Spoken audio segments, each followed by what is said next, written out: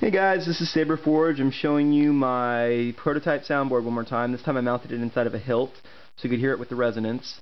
Because uh, this is one of my window styles, the uh, working space is pretty small. It's like 6 inches.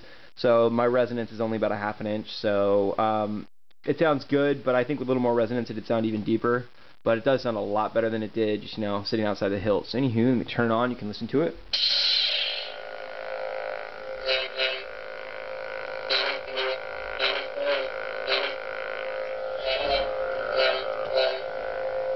Hit it on something.